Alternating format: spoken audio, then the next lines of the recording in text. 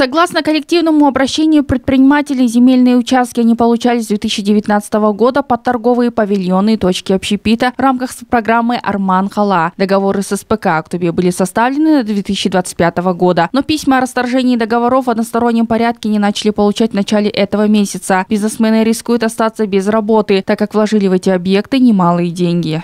Решить вопрос в рамках земельного законодательства, то есть решить вопрос права выкупа аренды земельного участка. То есть, чтобы после того, как этот вопрос решится, СПК возьмет право аренды выкупа земельного участка, предоставит это предпринимателям, а они напрямую обратятся в земельную комиссию, чтобы продлить э, этот договор еще на 5 лет.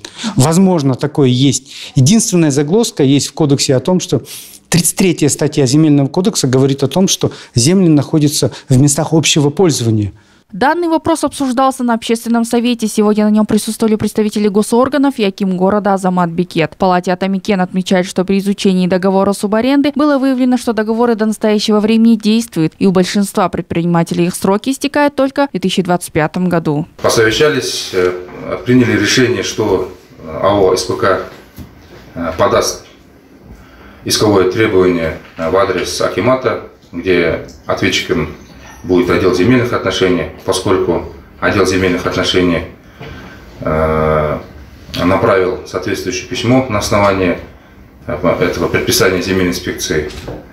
Э, будет судебный процесс, вас никто не ущемляет, дальше можете продолжать свою работу. Как будет решение суда, мы вас оповестим.